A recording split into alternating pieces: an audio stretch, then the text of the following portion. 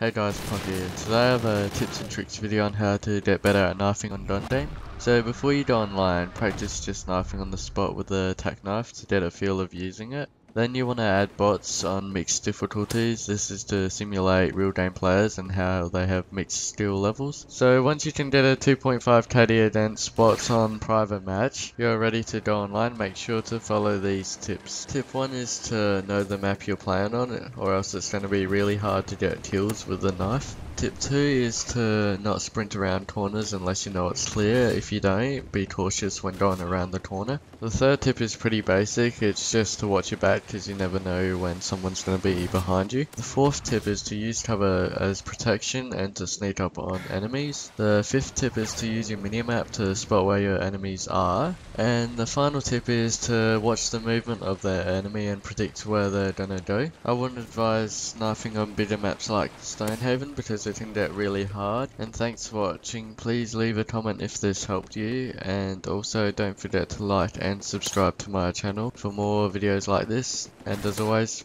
pot it out.